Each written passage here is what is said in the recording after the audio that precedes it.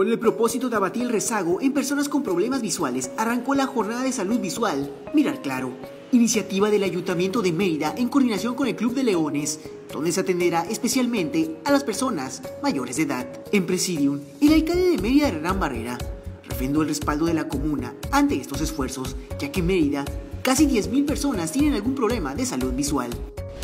Casi 10.000 personas, según última encuesta del INEC, tienen algún problema de visión.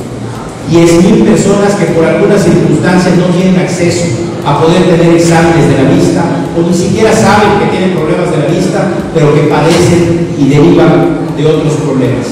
Por eso esta jornada de tres días es fundamental. Primero, porque ustedes que han dedicado su tiempo están haciendo las labores que desde el ayuntamiento nosotros siempre hemos buscado que entre todos podamos hacer, es evitar el dolor humano evitable. Por su parte, ciudadanos de la capital yucateca externaron su agradecimiento a las autoridades y responsables de este programa, ya que los ayuda a facilitar la atención de su visión. Pues es muy bueno porque económicamente pues no tienen para comprarlo, para solicitar. Bastante nos beneficia.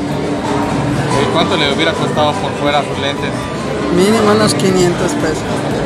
Igual mucho, mucho nos ayuda bastante.